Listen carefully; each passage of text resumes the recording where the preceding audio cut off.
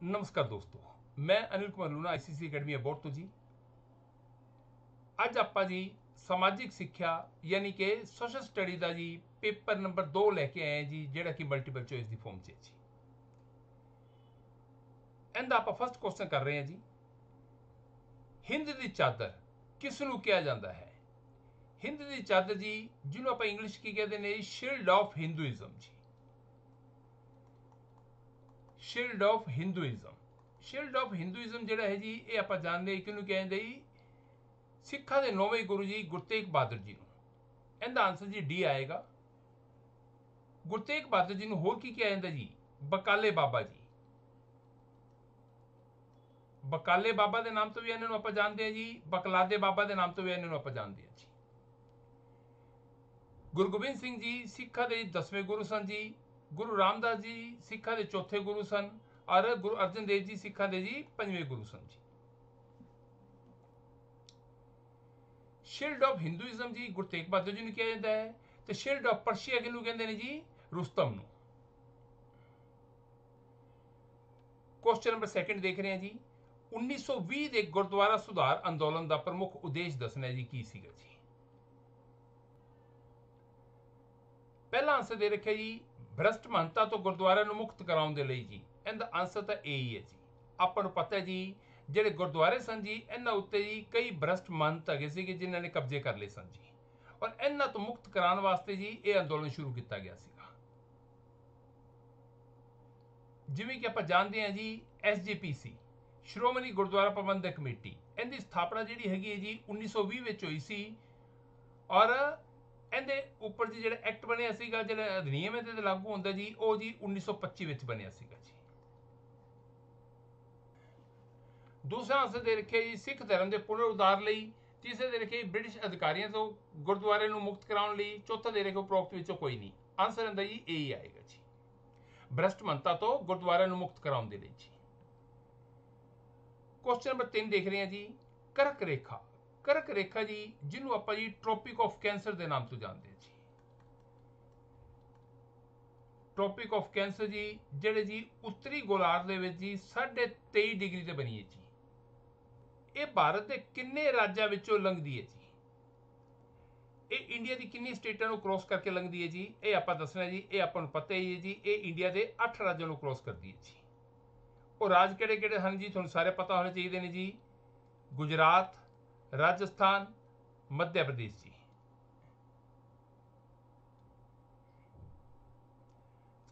Chhattisgarh, Jharkhand, West Bengal, Mizoram ਤੇ ਤ੍ਰਿਪੁਰਾ ਜੀ। ਇਹ 8 ਰਾਜਾਂ ਨੇ ਜੀ, ਜਿਨ੍ਹਾਂ ਵਿੱਚੋਂ ਜੀ ਇਹ ਕਰਕ ਰੇਖਾ ਲੰਘਦੀ ਹੈ ਜੀ।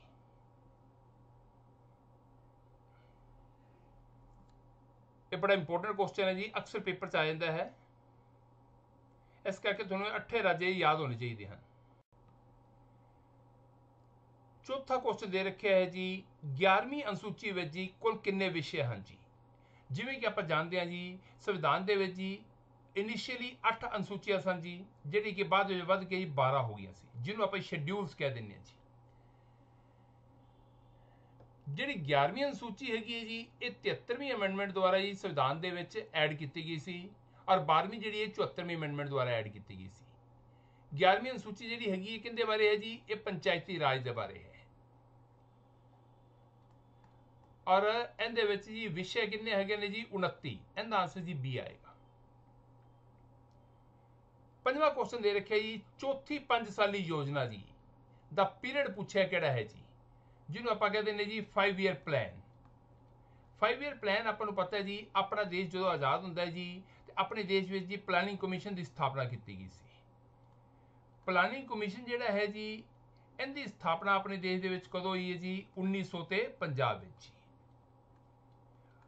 ਔਰ ਪਹਿਲਾ ਜਿਹੜਾ 5 ਇਅਰ ਪਲਾਨ ਹੈ ਜੀ, ਇਹ 51 ਤੋਂ ਸ਼ੁਰੂ ਹੁੰਦਾ ਹੈ ਜੀ। 51 ਤੋਂ 56 ਤੱਕ ਜੀ, ਇਹ ਪਹਿਲਾ 5 ਇਅਰ ਪਲਾਨ ਸੀਗਾ। 5 ਇਅਰ ਪਲਾਨ ਜਿਹੜਾ ਹੈ ਜੀ, ਆਪਣਾ ਜਿਹੜਾ ਆਈਡੀਆ ਕਿੱਥੋਂ ਲਿਆ ਜੀ? ਯੂਐਸਐਸਆਰ ਤੋਂ ਲਿਆ ਜੀ। ਦੂਸਰਾ 5 ਇਅਰ ਪਲਾਨ ਜਿਹੜਾ ਹੈਗਾ ਜੀ, ਉਹ ਹੈਗਾ ਸੀਗਾ 56 ਤੋਂ 61 ਜੀ। ਤੀਸਰਾ ਹੈਗਾ ਸੀਗਾ ਜੀ 61 ਤੋਂ 66 ਉਸ ਤੋਂ ਬਾਅਦ ਜੀ 3 ਸਾਲ ਦਾ ਬ੍ਰੇਕ ਸੀਗਾ 66 ਤੋਂ ਲੈ ਕੇ 69 ਤੱਕ ਦਾ ਜੀ। ਆਪਾਂ ਨੂੰ ਪੁੱਛੇ ਚੌਥਾ ਚੌਥਾ ਜੀ 69 ਤੋਂ ਸ਼ੁਰੂ ਹੁੰਦਾ 69 ਤੋਂ 74 ਤੱਕ ਜੀ। ਚੌਥਾ ਜੀ 69 ਤੋਂ 74 ਤੱਕ, ਇਹ ਸੀ ਵਿੱਚ ਦੇ ਰੱਖੇ ਜੀ, ਇਹਦਾ ਆਨਸਰ ਸੀ ਹੋਏਗਾ ਜੀ। ਔਰ ਉਸ ਤੋਂ ਬਾਅਦ ਜੀ ਪੰਜਵਾਂ ਜਿਹੜਾ ਹੈਗਾ ਜੀ 74 ਤੋਂ 78 ਤੱਕ ਹੈਗਾ ਜੀ। ਇਹਦੇ ਆਪਾਂ ਕੀ ਦੇਖਦੇ ਹਾਂ ਜੀ, ਇਹ ਇੱਕੋ ਹੀ 5 ਇਅਰ ਪਲਾਨ ਹੈ, ਜਿਹੜਾ ਕਿ 4 ਸਾਲਾ ਹੈ। ਨਾ ਕਿ 5 ਸਾਲ ਹੈ ਜੀ। ਇਹ ਵੀ ਕੁਐਸਚਨ ਪੇਪਰ ਦੇ ਵਿੱਚ ਆ ਜਾਂਦਾ ਹੁੰਦਾ ਹੈ ਵੀ ਕਿਹੜਾ 5 ਇਅਰ ਪਲਾਨ ਹੈ, ਜਿਹੜਾ ਕਿ 4 ਸਾਲਾ ਹੈ, ਉਹ 74 ਤੋਂ 78 ਵਾਲਾ ਜੀ, ਪੰਜਵਾਂ ਹੈ। ਲੇਕਿਨ ਆਪਾਂ ਨੂੰ ਚੌਥਾ ਪੁੱਛਿਆ ਸੀ, ਇਸ ਕਰਕੇ ਆਪਣਾ ਆਨਸਰ ਜਿਹੜਾ ਕਿਹੜਾ ਹੈ ਜੀ ਸੀ ਆਏਗਾ। ਕੁਐਸਚਨ ਨੰਬਰ 6 ਦੇਖ ਰਹੇ ਹਾਂ ਜੀ। ਲੋਕ ਸਭਾ ਦਾ ਪ੍ਰਧਾਨ ਜੀ, ਆਪਣਾ ਤਿਆਗ ਪੱਤਰ ਕਿਸ ਨੂੰ ਸੌਂਪਦਾ ਹੈ? ਜਿਵੇਂ ਕਿ ਆਪਾਂ ਜਾਣਦੇ ਹਾਂ ਜੀ, ਜਿਹੜੀ ਲੋਕ ਸਭਾ ਹੈ ਜੀ, ਇਹਦੇ ਹੈੱਡ ਨੂੰ ਆਪਾਂ ਕੀ ਬੋਲਦੇ ਹਾਂ ਜੀ ਸਪੀਕਰ ਸਪੀਕਰ ਦੇ ਹੇਠਾਂ ਕੌਣ ਹੁੰਦੇ ਜੀ? ਡਿਪਟੀ ਸਪੀਕਰ ਜੀ। ਇਹ ਆਪਦਾ ਇਸਤੀਫਾ ਕਿਹਨੂੰ ਦਿੰਦੇ ਹਨ? ਸਪੀਕਰ ਜਿਹੜਾ ਆਪਦਾ ਇਸਤੀਫਾ ਹੈ ਜੀ, ਡਿਪਟੀ ਸਪੀਕਰ ਨੂੰ ਦੇਗਾ ਤੇ ਡਿਪਟੀ ਸਪੀਕਰ ਕਿਹਨੂੰ ਦੇਗਾ ਜੀ? ਸਪੀਕਰ ਨੂੰ ਦੇਗਾ। ਜਿਵੇਂ ਆਪਾਂ ਆਪਾਂ ਨੂੰ ਪਤਾ ਹੈ ਜੀ, ਪ੍ਰੈਜ਼ੀਡੈਂਟ ਆਪਦਾ ਇਸਤੀਫਾ ਜੀ, ਵਾਈਸ ਪ੍ਰੈਜ਼ੀਡੈਂਟ ਨੂੰ ਦਿੰਦਾ ਹੈ ਤੇ ਵਾਈਸ ਪ੍ਰੈਜ਼ੀਡੈਂਟ ਆਪਦਾ ਇਸਤੀਫਾ ਜਿਹੜਾ ਹੈਗਾ ਜੀ, ਉਹ ਪ੍ਰੈਜ਼ੀਡੈਂਟ ਨੂੰ ਦਿੰਦਾ ਜੀ। ਆਪਾਂ ਨੂੰ ਪੁੱਛਿਆ ਗਿਆ ਸੀ ਲੋਕ ਸਭਾ ਦਾ ਪ੍ਰਧਾਨ, ਯਾਨੀ ਸਪੀਕਰ ਜਿਹੜਾ ਜੀ, ਆਪਦਾ ਤਿਆਗ ਪੱਤਰ ਕਿਹਨੂੰ ਦਿੰਦਾ ਜੀ? ਉਪ ਪ੍ਰਧਾਨ ਨੂੰ। ਇਹਦਾ ਆਨਸਰ ਜੀ ਸੀ ਆਏਗਾ। ਉਪ ਪ੍ਰਧਾਨ ਕਹਿੰਦਾ ਜੀ, ਲੋਕ ਸਭਾ ਦਾ ਜੀ। ਸਤਵਾਂ ਕੁਐਸਚਨ ਹੈ ਜੀ, ਬੰਗਾਲ ਦਾ ਵਿਭਾਜਨ ਕੀਤਾ ਗਿਆ ਜੀ। ਬੰਗਾਲ ਦਾ ਵਿਭਾਜਨ ਆਪਾਂ ਨੂੰ ਪਤਾ ਹੈ ਜੀ 16 ਅਕਤੂਬਰ 1905 ਨੂੰ ਕੀਤਾ ਗਿਆ ਸੀਗਾ ਜੀ, ਇਹਦਾ ਆਨਸਰ ਜੀ ਇਹ ਆਏਗਾ। ਔਰ ਉਸ ਟਾਈਮ ਤੇ ਜੀ ਇੰਡੀਆ ਦਾ ਵਾਇਸਰਾਏ ਕਿਹੜਾ ਸੀਗਾ ਜੀ? ਲਾਰਡ ਕਰਜਨ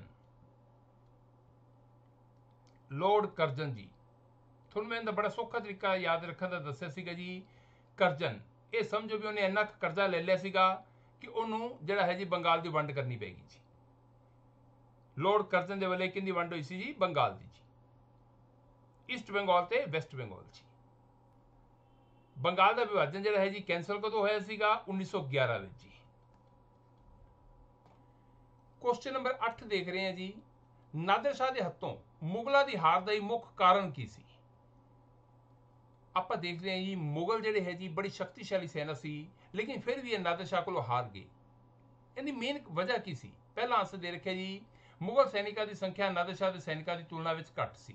ਨਹੀਂ ਜੀ, ਆਪਾਂ ਨੂੰ ਪਤਾ ਹੈ ਵੀ ਮੁਗਲ ਦੀ ਜਿਹੜੀ ਸੈਨਿਕਾਂ ਦੀ ਜਿਹੜੀ ਹੈ ਜੀ ਸੰਖਿਆ, ਇਹ ਵੀ ਬਹੁਤ ਜ਼ਿਆਦਾ ਸੀ। ਦੂਸਰਾ ਕਾਰਨ ਹੈ ਜੀ ਆਪਸੀ ਫੁੱਟ, ਖਰਾਬ ਨੇਤਰਤਵ, ਪਰਸਪਰ ਈਰਖਾ ਅਤੇ ਅਵਿਸ਼ਵਾਸ ਮੁਗਲਾਂ ਦੀ ਹਾਰ ਦਾ ਮੁੱਖ ਕਾਰਨ ਸੀ। ਬਿਲਕੁਲ ਸਹੀ ਹੈ ਜੀ, ਬਾਕੀ ਵੀ ਦੇਖ ਲੈਂਦੇ ਆ ਮੁਗਲਾਂ ਦੇ ਕੋਲ ਯੁੱਧ ਸਮਗਰੀ ਦੀ ਕਾਫੀ ਥੋੜ ਸੀ। ਇਹ ਵੀ ਨਹੀਂ ਆਪਾਂ ਕਹਿ ਸਕਦੇ ਜੀ ਤੇ ਉਪਰੋਕਤ ਵਿੱਚੋਂ ਕੋਈ ਨਹੀਂ। ਇਹਦਾ ਆਨਸਰ ਜੀ ਬੀ ਬਣੇਗਾ ਜੀ। ਆਪਸੀ ਜਦੋਂ ਫੁੱਟ ਪੈਂਦੀ ਹੈ ਨਾ ਜੀ, ਉਦੋਂ ਸ਼ਾਸਨ ਨੂੰ ਜੀ ਕੋਈ ਵੀ ਨਹੀਂ ਬਚਾ ਸਕਦਾ ਜੀ। ਨੌਵਾਂ ਕੁਐਸਚਨ ਹੈ ਜੀ, ਵਾਟਰਲੂ ਦਾ ਯੁੱਧ ਕਦੋਂ ਲੜਿਆ ਗਿਆ ਜੀ? ਵਾਟਰਲੂ। ਆਪਾਂ ਜਾਣਦੇ ਹਾਂ ਜੀ, ਵਾਟਰਲੂ ਦੀ ਇੱਕੋ ਹੀ ਹੈ ਜੀ ਲੜਾਈ ਹੈ ਜੀ, ਜਿਹੜਾ ਨੈਪੋਲੀਅਨ ਹਾਰਿਆ ਸੀਗਾ ਜੀ। ਨੈਪੋਲੀਅਨ, ਜਿਹਨੂੰ ਆਪਾਂ ਜੀ ਨੈਪੋਲੀਅਨ ਬੋਨਾਪਾਰਟ ਦੇ ਨਾਮ ਤੋਂ ਵੀ ਜਾਣਦੇ ਹਾਂ ਜੀ। ਨੈਪੋਲੀਅਨ ਜਿੰਦਾ ਜਨਮ ਜੀ 1769 ਵਿੱਚ ਹੋਇਆ ਸੀਗਾ। ਇਹ ਇੱਕੋ ਹੀ ਲੜਾਈ ਆਪਦੀ ਜ਼ਿੰਦਗੀ 'ਚ ਹਾਰਿਆ ਸੀਗਾ ਜੀ 1815 ਵਿੱਚ ਜੀ। ਇਹਦਾ ਆਨਸਰ ਜੀ ਬੀ ਆਏਗਾ ਜੀ। ਔਰ ਇਸ ਤੋਂ 6 ਸਾਲਾਂ ਬਾਅਦ ਜੀ 1821 ਵਿੱਚ ਨੈਪੋਲੀਅਨ ਦੀ ਜੀ ਡੈਥ ਹੋ ਗਈ ਸੀ। ਕਿਹੜੀ ਜਗ੍ਹਾ ਤੇ ਜੀ? ਸੇਂਟ ਹੈਲਨਾ ਨਾਮ ਦੇ ਟਾਪੂ ਤੇ ਹੋਈ ਸੀ ਜੀ। ਨੈਪੋਲੀਅਨ ਕਿੱਥੋਂ ਦਾ ਰਾਜਾ ਸੀਗਾ ਜੀ? ਫਰਾਂਸ ਦਾ। ਕੁਐਸਚਨ ਨੰਬਰ 10 ਦੇਖ ਰਹੇ ਹਾਂ ਜੀ, ਕਿ ਸੰਸਦ ਦੁਆਰਾ ਪਾਰਿਤ ਕਿਸੇ ਧਨ ਬਿੱਲ ਤੇ ਰਾਸ਼ਟਰਪਤੀ ਆਪਣੀ ਅਨੁਮਤੀ ਦੇਣ ਤੋਂ ਮਨਾ ਕਰ ਸਕਦਾ ਹੈ? ਧਨ ਬਿੱਲ ਜੀ, ਜਿਹਨੂੰ ਆਪਾਂ ਜੀ ਮਨੀ ਬਿੱਲ ਦੇ ਨਾਮ ਤੋਂ ਜਾਣਦੇ ਹਾਂ ਜੀ। ਮਨੀ ਬਿੱਲ ਆਪਾਂ ਨੂੰ ਪਤਾ ਜੀ, ਬੜਾ ਹੀ ਇੰਪੋਰਟੈਂਟ ਬਿੱਲ ਹੈ ਜੀ। ਇਹਦਾ ਆਰਟੀਕਲ ਵੀ ਇਹ ਪੇਪਰ ਵਿੱਚ ਅਕਸਰ ਆ ਜਾਂਦੇ, ਇਹਦਾ ਆਰਟੀਕਲ ਹੈਗਾ ਜੀ 100 ਤੇ 10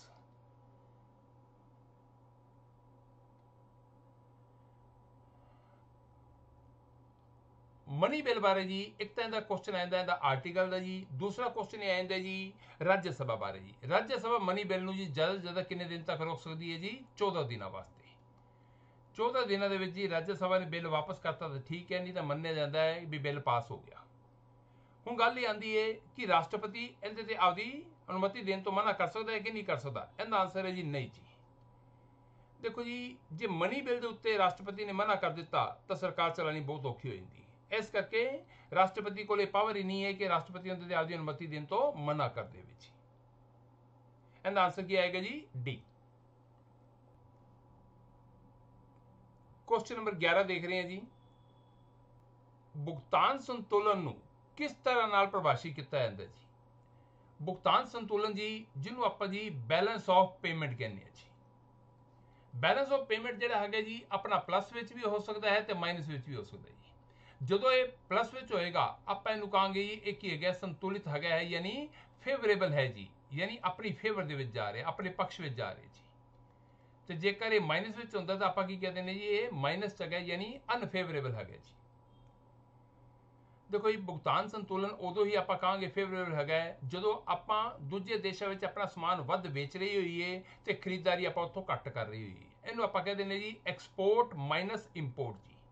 ਜਦੋਂ ਇੰਪੋਰਟ ਜ਼ਿਆਦਾ ਹੋ ਜਾਂਦੇ ਨੇ, ਤਾਂ ਯਾਨੀ ਇਹ ਫਿਗਰ ਮਾਈਨਸ ਆ ਜਾਂਦੀ ਹੈ ਤਾਂ ਇਟ ਮੀਨਸ ਅਨਫੇਵਰੇਬਲ ਜੀ।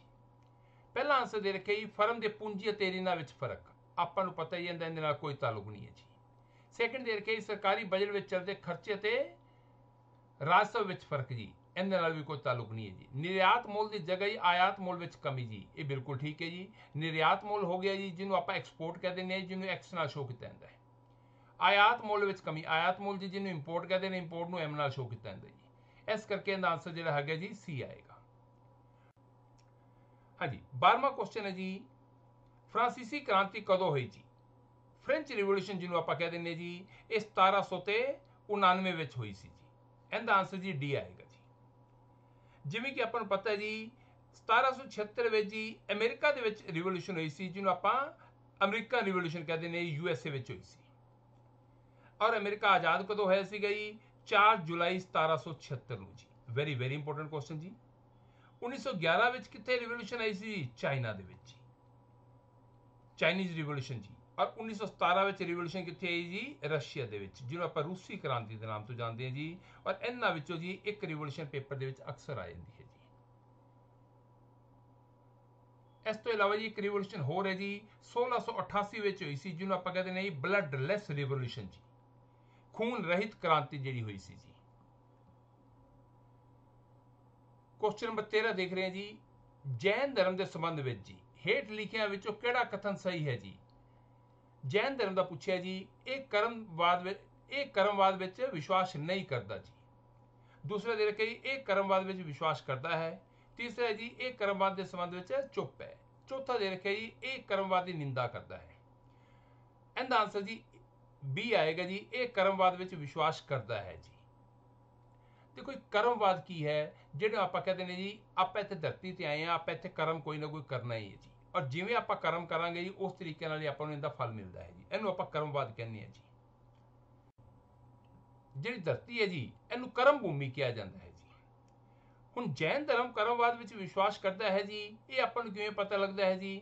ਆਪਾਂ ਪੜ੍ਹਦੇ ਹਾਂ ਜੈਨ ਧਰਮ ਦੇ ਤਿੰਨ ਸਿਧਾਂਤ ਹਨ ਜੀ। ਇੱਕ ਤਾਂ ਆ ਗਿਆ ਜੀ ਰਾਈਟ ਨੌਲੇਜ ਦੂਸਰਾ ਆ ਗਿਆ ਜੀ ਰਾਈਟ ਫੇਥ ਤੀਸਰਾ ਆ ਗਿਆ ਰਾਈਟ ਕੰਡਕਟ ਜੀ।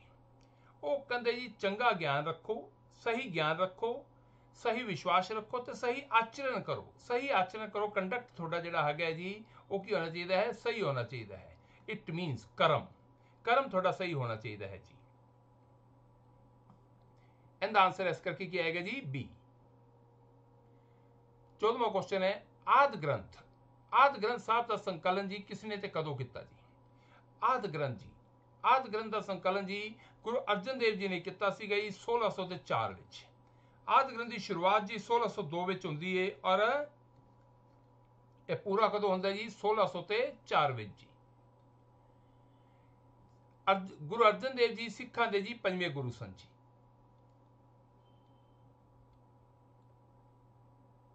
ਸੋਲਾਂ ਸੌ ਨੜਿਨਵੇਂ ਵਿੱਚ ਆਪਾਂ ਨੂੰ ਪਤਾ ਹੀ ਖਾਲਸਾ ਪੰਥ ਦੀ ਸਥਾਪਨਾ ਹੋਈ ਸੀ ਜੀ। 1574 ਵਿੱਚ ਆਪਾਂ ਜਾਣਦੇ ਹਾਂ ਜੀ, ਗੁਰੂ ਰਾਮਦਾਸ ਜੀ ਨੂੰ ਗੱਦੀ ਮਿਲੀ ਸੀ। ਔਰ 1539 ਵਿੱਚ ਕੀ ਹੋਇਆ ਸੀਗਾ ਜੀ? ਗੁਰੂ ਨਾਨਕ ਦੇਵ ਜੀ ਜੋਤੀ ਜੋਤ ਸਮਾਏ ਸਨ ਜੀ। ਇਹ ਸਾਰਾ ਡਾਟਾ ਹੀ ਇੰਪੋਰਟੈਂਟ ਹੈ ਜੀ। ਇਹਨੂੰ ਅੱਛੇ ਤਰੀਕੇ ਨਾਲ ਤਿਆਰ ਕਰੋ ਜੀ। ਕੁਐਸਚਨ ਨੰਬਰ 15 ਹੈ ਜੀ। ਸੇਵਾ ਮੁਕਤ ਹੋਣ ਤੋਂ ਬਾਅਦ ਸਰਵੋੱਚ ਅਦਾਲਤ ਦੇ ਜੱਜ ਵਕਾਲਤ ਕਰ ਸਕਦੇ ਹਨ? ਦੇਖੋ, ਕੀ ਪੁੱਛਿਆ ਗਿਆ ਆਪਾਂ ਨੂੰ? ਜਿਹੜੇ ਸੁਪਰੀਮ ਕੋਰਟ ਦੇ ਜੱਜ ਹੈਗੇ ਨੇ ਜੀ, ਸਰਵੋੱਚ ਨਿਆਲ ਅਹ ਸਰਵੋੱਚ ਅਦਾਲਤ ਕਿਹੜੀ ਹੁੰਦੀ ਹੈ? ਸੁਪਰੀਮ ਕੋਰਟ ਜੀ। ਇਹਦੇ ਜਿਹੜੇ ਜੱਜ ਹੈਗੇ ਨੇ ਜੀ ਉਹ ਜਦੋਂ ਰਿਟਾਇਰ ਹੁੰਦੇ ਨੇ, ਉਸ ਤੋਂ ਬਾਅਦ ਉਹ ਪ੍ਰੈਕਟਿਸ ਕਰ ਸਕਦੇ ਆ ਕਿ ਨਹੀਂ ਕਰ ਸਕਦੇ? ਇਹਦਾ ਆਨਸਰ ਹੈਗਾ ਜੀ ਨਹੀਂ ਜੀ। ਉਹ ਕਿਸੇ ਵੀ ਅਦਾਲਤ ਵਿੱਚ ਪ੍ਰੈਕਟਿਸ ਨਹੀਂ ਕਰ ਸਕਦੇ ਇਹਦਾ ਆਨਸਰ ਜੀ ਡੀ ਆਏਗਾ। ਦੇਖੋ ਜੀ, ਇਹਨੂੰ ਮੈਂ ਬੜੀ ਸਿੰਪਲ ਵੇ ਨਾਲ ਤੁਹਾਨੂੰ ਸਮਝਾਉਣਾ ਜੀ। ਜਿਹੜਾ ਬੰਦਾ ਜੀ ਹਾਈਐਸਟ ਪੋਸਟ ਤੇ ਬੈਠਾ ਹੈ, ਔਰ ਉਸ ਤੋਂ ਬਾਅਦ ਉੱਥੇ ਹੀ ਉਹਨੇ ਕੱਲ ਨੂੰ ਦੁਬਾਰਾ ਕੋਈ ਪ੍ਰੈਕਟਿਸ ਕਰਨਾ ਚਾਹੀਏ ਉਹ ਅਲਾਉਡ ਨਹੀਂ ਹੈ। ਹੁਣ ਜਿਵੇਂ ਇੰਡੀਆ ਦਾ ਪ੍ਰੈਜ਼ੀਡੈਂਟ ਹੈ ਜੀ। President of India highest post ਤੇ ਬੈਠਾ ਹੈ ਜੀ। ਹੁਣ ਪ੍ਰੈਜ਼ੀਡੈਂਟ ਬਣਨ ਤੋਂ ਬਾਅਦ ਜੀ, ਮੰਨ ਲਓ ਕੋਈ ਆਪਣਾ ਪ੍ਰੈਜ਼ੀਡੈਂਟ ਹੋਇਆ 5 ਸਾਲ ਰਿਹਾ ਹੈ ਉਸ ਤੋਂ ਬਾਅਦ ਉਹ ਕਵੇ ਜੀ, ਮੈਂ ਹੁਣ ਐਮਪੀ ਦੇ ਇਲੈਕਸ਼ਨ ਲੜਨੇ ਨੇ। ਉਹ ਕੋਈ ਐਮਪੀ ਦੇ ਜਾਂ ਐਮਐਲਏ ਦੇ ਇਲੈਕਸ਼ਨ ਲੜਨਾ ਚਾਹਵੇ, ਉਹ ਨਹੀਂ ਲੜ ਸਕਦਾ ਜੀ। ਵਜ੍ਹਾ ਜੀ ਟੋਪ ਮੋਸਟ ਪੋਜੀਸ਼ਨ 'ਤੇ ਰਿਹਾ ਸਭ ਤੋਂ ਰਿਸਪੈਕਟ ਵਾਲੀ ਪੋਸਟ ਤੇ ਰਿਹਾ ਜੀ। ਔਰ ਉਸ ਤੋਂ ਬਾਅਦ ਉਹਨੂੰ ਛੋਟੇ ਉਹਦੇ ਤੇ ਆਉਣ ਦੀ ਕੋਈ ਜ਼ਰੂਰਤ ਨਹੀਂ ਹੁੰਦੀ ਜੀ। ਇਸ ਕਰਕੇ ਜੀ, ਤੁਹਾਨੂੰ ਥੋੜਾ ਸੌਖਾ ਤਰੀਕੇ ਨਾਲ ਯਾਦ ਹੋ ਜਾਏਗਾ ਵੀ ਕਿਸੇ ਵੀ ਅਦਾਲਤ ਦੇ ਵਿੱਚ ਇਹ ਪ੍ਰੈਕਟਿਸ ਨਹੀਂ ਕਰ ਸਕਦੇ ਜੀ। ਕੁਐਸਚਨ ਨੰਬਰ 16 ਹੈ ਜੀ, ਕਿ ਭਾਰਤੀ ਸੰਸਦ ਦੀ ਮੌਲਿਕ ਅਧਿਕਾਰਾਂ ਨੂੰ ਸੰਸ਼ੋਧਿਤ ਕਰ ਸਕਦੀ ਹੈ ਜੀ? ਯੈਸ ਇਹਦਾ ਆਨਸਰ ਸੀ ਹੈ ਜੀ। ਇਹਦੇ ਬਾਰੇ ਜੀ ਬੜੀ ਕੰਟਰੋਵਰਸੀ ਰਾਈਜ਼ ਹੁੰਦੀ ਹੈ। ਮੌਲਿਕ ਅਧਿਕਾਰ ਜੀ, ਜਿਹਨੂੰ ਆਪਾਂ ਫੰਡਾਮੈਂਟਲ ਰਾਈਟ ਕਹਿ ਦਿੰਨੇ ਜੀ, ਜਿਹੜੇ ਕਿ ਸੰਵਿਧਾਨ ਦੇ ਵਿੱਚ ਕਿੰਨੇ ਨੇ ਜੀ? 6 ਕਿ ਫੰਡਾਮੈਂਟਲ ਰਾਈਟ ਨੂੰ ਜੀ ਸੰਸ਼ੋਧਿਤ ਕੀਤਾ ਜਾ ਸਕਦਾ ਹੈ? ਯੈਸ ਜਿਵੇਂ ਕਿ ਆਪਾਂ ਦੇਖਦੇ ਹਾਂ ਜੀ ਫੰਡਾਮੈਂਟਲ ਰਾਈਟ ਪਹਿਲਾਂ 7 ਹੁੰਦੇ ਸੀ, ਵਿੱਚੋਂ ਇੱਕ ਪ੍ਰਾਪਰਟੀ ਰਾਈਟ ਕਰ ਦਿੱਤਾ ਗਿਆ ਜੀ, ਜਿਹੜੇ ਬਾਅਦ ਚ 6 ਰਹਿ ਗਏ ਜੀ। ਉਸ ਤੋਂ ਬਾਅਦ ਆਪਾਂ ਦੇਖਦੇ ਹਾਂ ਜੀ, ਜਿਹੜਾ ਰਾਈਟ ਟੂ ਐਜੂਕੇਸ਼ਨ ਹੈ ਜੀ, ਇਹ ਇਹ ਇੱਕ ਫੰਡਾਮੈਂਟਲ ਰਾਈਟ ਬਣਾ ਦਿੱਤਾ ਗਿਆ। ਇਹ 21 ਏ ਆਰਟੀਕਲ ਦੇ ਵਿੱਚ ਆਉਂਦਾ ਜੀ। ਇਹ ਜੀ ਇੱਕ ਅਲੱਗ ਰਾਈਟ ਬਣ ਕੇ ਨਹੀਂ ਆਇਆ, ਬਲਕਿ ਜਿਹੜਾ ਰਾਈਟ ਹੈਗਾ ਸੀਗਾ, ਉਹਦਾ ਇੱਕ ਸਬ ਪਾਰਟ ਬਣ ਕੇ ਆਇਆ ਜੀ। ਇਸ ਕਰਕੇ ਫੰਡਾਮੈਂਟਲ ਰਾਈਟ ਟੋਟਲ ਆਪਾਂ 6 ਹੀ ਗਿਣਦੇ ਹਾਂ। ਲੇਕਿਨ ਆਪਾਂ ਦੇਖਦੇ ਹਾਂ ਇਹ ਫੰਡਾਮੈਂਟਲ ਰਾਈਟ ਦੇ ਵਿੱਚ ਚੇਂਜ ਤਾਂ ਆ ਰਹੀ ਹੈ। ਇਟ ਮੀਨਸ ਜਿਹੜੀ ਭਾਰਤੀ ਸੰਸਦ ਹੈਗਾ ਜੀ, ਇਹਨੂੰ ਮੌਲਿਕ ਅਧਿਕਾਰਾਂ ਨੂੰ ਸੰਸ਼ੋਧਿਤ ਕਰਨ ਦਾ ਅਧਿਕਾਰ ਹੈ। ਇਹਦਾ ਆਨਸਰ ਕੀ ਆਏਗਾ ਜੀ? ਸੀ ਕੁਐਸਚਨ ਨੰਬਰ 17 ਜੀ। ਪੰਨਾ ਦੀ ਖਾਨ ਕਿਸ ਲਈ ਪ੍ਰਸਿੱਧ ਹੈ? ਪੰਨਾ ਦੀ ਖਾਨ ਜਿਹੜੀ ਹੈ ਜੀ, ਇਹ ਹੀਰੇ ਵਾਸਤੇ ਫੇਮਸ ਹੈ ਜੀ, ਇਹਦਾ ਆਨਸਰ ਜੀ ਇਹ ਆਏਗਾ ਜੀ, ਇਹ ਆਪਾਂ ਨੂੰ ਪਤਾ ਹੀ ਜੀ, ਹੀਰੇ ਦੀ ਜਿਹੜੀ ਖਾਨ ਹੈ ਕਿੱਥੇ ਹੈਗੀ ਹੈ ਜੀ, ਇਹ ਮੱਧ ਪ੍ਰਦੇਸ਼ ਦੇ ਵਿੱਚ ਹੈਗੀ ਹੈ, ਪੰਨਾ ਡਿਸਟ੍ਰਿਕਟ ਚ ਪੈਂਦੀ ਹੈ ਜੀ। ਹੀਰਾ ਪੰਨਾ ਇਹ ਦੋ ਵਰਡ ਬਚਪਨ ਤੋਂ ਸੁਣਦੇ ਆਂਦੇ ਆਪਾਂ ਜੀ। ਕੁਐਸਚਨ ਨੰਬਰ 18 ਦੇਖਾਂਗੇ ਜੀ, ਦਾਸ ਪ੍ਰਥਾ ਦੇ ਸੰਦਰਭ ਵਿੱਚ ਜੀ, ਸ਼ੁਰੂਆਤੀ ਜਾਣਕਾਰੀ ਆਪਾਂ ਨੂੰ ਕਿੱਥੋਂ ਮਿਲਦੀ ਹੈ ਜੀ? ਆਪਾਂ ਨੂੰ ਇਹਦੇ ਬਾਰੇ ਸ਼ੁਰੂਆਤੀ ਜਾਣਕਾਰੀ ਜੀ ਰਿਗਵੇਦ ਦੇ ਵਿੱਚ ਮਿਲਦੀ ਹੈ ਜੀ। ਇਹਦਾ ਆਨਸਰ ਕੀ ਆਏਗਾ ਜੀ? ਏ ਆਪਾਂ ਨੂੰ ਪਤਾ ਜੀ ਵੇਦ ਚਾਰ ਨੇ ਜੀ। ਕਿਹੜੇ ਕਿਹੜੇ ਜੀ? ਰਿਗਵੇਦ, ਸਾਮਵੇਦ, ਯਜੁਰਵੇਦ ਤੇ ਅਥਰਵਵੇਦ ਜੀ। ਅੱਗੋਂ ਇਹਨਾਂ ਚਾਰਾਂ ਦੇ ਚਾਰ ਉਪਵੇਦ ਹੈਗੇ ਨੇ ਜੀ। ਇਹਨਾਂ ਬਾਰੇ ਜੀ ਇੱਕ ਕੁਐਸਚਨ ਪੇਪਰ ਦੇ ਵਿੱਚ ਅਕਸਰ ਆ ਜਾਂਦਾ ਹੁੰਦਾ ਹੈ। ਕੁਐਸਚਨ ਨੰਬਰ 19 ਹੈ ਜੀ, ਪੰਜਾਬ ਦਾ ਆਖਰੀ ਸਿੱਖ ਸ਼ਾਸਕ ਕੌਣ ਸੀਗਾ ਜੀ? ਪੰਜਾਬ ਦਾ ਆਖਰੀ ਸਿੱਖ ਸ਼ਾਸਕ ਜਿਹੜਾ ਹੈ ਜੀ ਆਪਾਂ ਨੂੰ ਪਤਾ ਜੀ, ਇਹ ਸੀ ਮਹਾਰਾਜਾ ਦਲੀਪ ਸਿੰਘ ਜੀ। ਇਹਦਾ ਆਨਸਰ ਕੀ ਆਏਗਾ ਜੀ? ਸੀ ਮਹਾਰਾਜਾ ਦਲੀਪ ਸਿੰਘ ਜੀ, ਇਹਨਾਂ ਦਾ ਜਨਮ ਜੀ 1800 ਤੇ 38 ਵਿੱਚ ਹੋਇਆ ਸੀਗਾ ਜੀ। ਔਰ ਆਪਾਂ ਨੂੰ ਪਤਾ ਜੀ, ਮਹਾਰਾਜਾ ਰਣਜੀਤ ਸਿੰਘ ਜੀ, ਇਹਨਾਂ ਦੀ ਡੈਥ ਕਦੋਂ ਹੁੰਦੀ ਹੈ ਜੀ? 1800 ਤੇ 39 ਵਿੱਚ ਜੀ। 1838 ਵਿੱਚ ਮਹਾਰਾਜਾ ਦਲੀਪ ਸਿੰਘ ਦਾ ਜਨਮ ਹੋਇਆ ਸੀਗਾ ਜੀ। ਔਰ 1800 ਤੇ 43 ਵਿੱਚ ਜੀ 5 ਸਾਲ ਦੀ ਉਮਰ ਵਿੱਚ ਹੀ ਇਹਨਾਂ ਨੂੰ ਗੱਦੀ ਤੇ ਬਿਠਾ ਦਿੱਤਾ ਗਿਆ ਸੀਗਾ ਜੀ। ਇਹਨਾਂ ਦਾ ਸ਼ਾਸਨ ਪੀਰੀਅਡ ਸੀਗਾ ਜੀ 1843 ਤੋਂ ਲੈ ਕੇ ਜੀ 1849 ਤੱਕ ਜੀ। 1849 ਵਿੱਚ ਆਪਾਂ ਨੂੰ ਪਤਾ ਹੈ ਜੀ, ਜਿਹੜਾ ਪੰਜਾਬ ਰਾਜ ਸੀਗਾ ਜੀ, ਇਹਨੂੰ ਅੰਗਰੇਜ਼ੀ ਸਮਰਾਜ ਵਿੱਚ ਮਿਲਾ ਲਿਆ ਗਿਆ ਸੀਗਾ ਜੀ। ਮਹਾਰਾਜ ਦਲੀਪ ਸਿੰਘ ਦੀ ਮ੍ਰਿਤੂ ਜਿਹੜੀ ਹੈ ਜੀ, ਉਹ 1893 ਵਿੱਚ ਹੋਈ ਸੀ ਜੀ। ਕੁਐਸਚਨ ਨੰਬਰ 20 ਦੇਖ ਰਹੇ ਹਾਂ ਆਪਾਂ ਜੀ। ਪੰਚਾਇਤ ਦੇ ਸਰਪੰਚ ਦੀ ਚੋਣ ਕਿਵੇਂ ਹੁੰਦੀ ਹੈ ਜੀ? ਜਿਵੇਂ ਕਿ ਆਪਾਂ ਨੂੰ ਪਤਾ ਹੀ ਹੈ ਜੀ, ਪੰਚਾਇਤੀ ਰਾਜ ਆਪਣੇ ਇੱਥੇ ਲਾਗੂ ਹੋ ਚੁੱਕਿਆ ਹੈ ਜੀ 73ਵੀਂ ਅਮੈਂਡਮੈਂਟ ਦੁਆਰਾ ਇਹ ਲਾਗੂ ਹੋਇਆ ਸੀਗਾ ਜੀ। ਔਰ ਪੰਚਾਇਤ ਦੇ ਜਿਹੜੇ ਇਲੈਕਸ਼ਨ ਹੁੰਦੇ ਨੇ ਜੀ, ਇਹ ਹਰ 5 ਸਾਲਾਂ ਬਾਅਦ ਹੁੰਦੇ ਨੇ ਜੀ। ਆਪਾਂ ਨੂੰ ਪਤਾ ਹੈ ਜਿਹੜੇ ਪੰਚਾਇਤ ਦੇ ਇਲੈਕਸ਼ਨ ਹੁੰਦੇ ਨੇ ਜੀ, ਇਹ ਪ੍ਰਤੱਖ ਇਲੈਕਸ਼ਨ ਹੁੰਦੇ ਨੇ ਪ੍ਰਤੱਖ ਮਤਲਬ ਜੀ ਡਾਇਰੈਕਟ ਡਾਇਰੈਕਟ ਮਤਲਬ ਕੀ ਹੁੰਦਾ ਜੀ, ਯਾਨੀ ਆਪਾਂ ਲੋਕ ਵੋਟ ਦੇ ਕੇ ਆਉਂਦੇ ਹਾਂ ਜੀ। ਔਰ ਵੋਟਰ ਦੀ ਜਿਹੜੀ ਏਜ ਹੈ ਜੀ, ਉਹ 18 ਸਾਲ ਹੁੰਦੀ ਹੈ ਜੀ, ਔਰ ਪੰਚਾਇਤ ਦੇ ਇਲੈਕਸ਼ਨ ਲੜਨ ਵਾਸਤੇ ਜਿਹੜੀ ਏਜ ਹੈ ਜੀ, ਉਹ 21 ਸਾਲ ਚਾਹੀਦੀ ਹੈ ਜੀ। ਜਿਹੜੇ ਹੁਣ ਜੀ ਪੰਚਾਇਤ ਦੇ ਇਲੈਕਸ਼ਨ ਵਿੱਚ ਜੇਤੂ ਹੁੰਦੇ ਹਨ ਜੀ, ਉਹਨਾਂ ਦੁਆਰਾ ਹੀ ਆਪਦੇ ਕਿਸੇ ਹੈੱਡ ਨੂੰ ਜੀ ਸਰਪੰਚ ਬਣਾਇਆ ਜਾਂਦਾ ਹੈ।